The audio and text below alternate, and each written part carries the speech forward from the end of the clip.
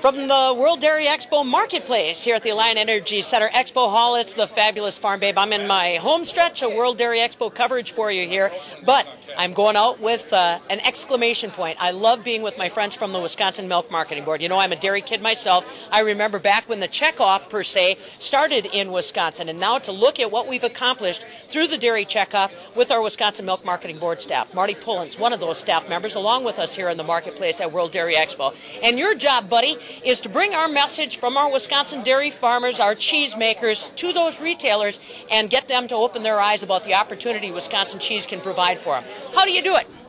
Well, you know, we go out and we work with the different retailers, the food service operators. We work with the distributors, the wholesalers, you know, and we can't forget about the uh, the, the, third leg of the stool. Obviously, is our cheesemakers, yeah. you know, and they're a big integral part in that as well, you know. So they they constantly are bringing new cheeses to market, and uh, you know, the artisan cheese movement in this country, in the state of Wisconsin, yeah. has grown. You know, we now account for 49% of all specialty cheese in the United States.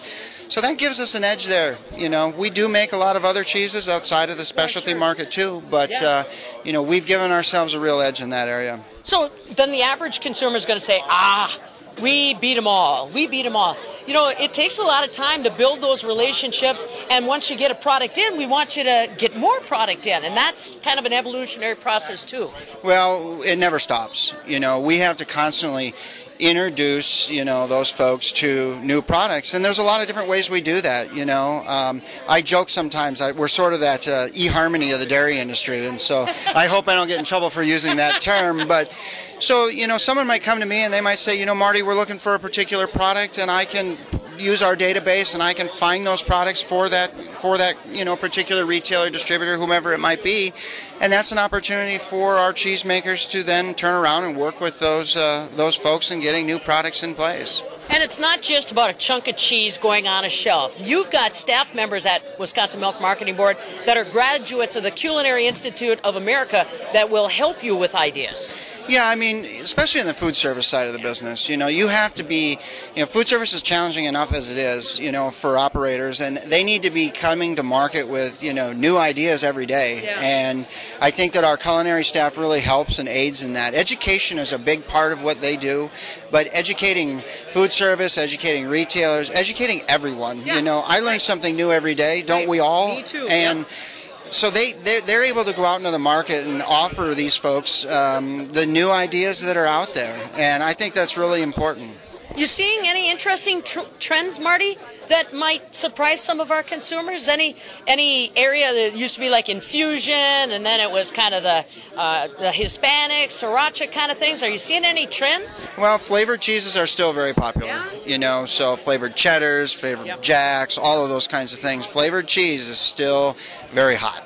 You know, uh, people want flavor. They want robust flavors. They want new flavors. You know, think of cumin and fenugreek and all these things that are now out in the market. It's not just about spice anymore. Mm-hmm. It's about some very interesting things. I saw recently, and I I didn't even know it was on the market, but I saw it at a local um, retailer here in Madison. Was farmers with basil it had whole leaves of basil oh, really? inside of a farmer's cheese. And I, I tried it and I thought, wow, this takes farmer's cheese to a new level. Huh. So. And we were talking about, yes, Wisconsin eats its fair share of cheese, but you really work across the United States. Do you do anything internationally or we concentrate primarily domestically? We concentrate domestically, you know, but that doesn't mean that our um, manufacturers right. here in the state aren't doing things, you know, internationally. Right. Oh, yeah. Um, so, you know, the average consumer consumes 30 33 and a half pounds of cheese in the United States. You know, that number is going to continue to rise. Yep. It, it, has, you know, increased significantly in, right. in the years past. Um, you know, internationally, um, we are seeing exports are up. Uh, the United States is now the largest exporter of cheese, yeah. beating our European counterparts. So that speaks volumes about it. But in addition to that, we continue to win the awards. Yeah. You know, so you know, at all the different award ceremonies that we're we you know our cheesemakers participate in, they're winning. They're beating their European counterparts in many situations. It's hard to wipe the smile off my face when he talks like that because I know it's like it's like the Packers. Yeah.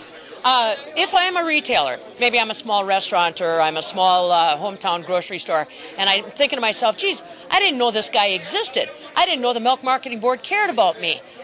is there a website or is there a way that we can kind of get them a little more information, Marty, if not a visit from you?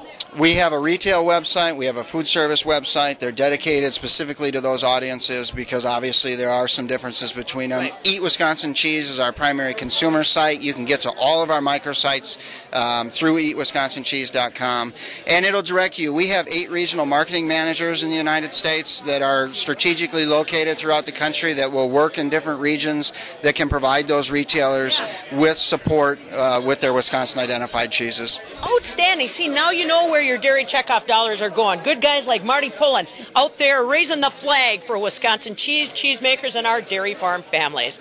I love it. This is a great way for me to spend my Friday afternoon at World Dairy Expo. How about you? Come on out. We are in the marketplace of the Alliant Energy Center Expo Hall. We welcome you to the Wisconsin Milk Marketing Board location. From World Dairy Expo 2015, I'm Farm Director Pam Jahnke.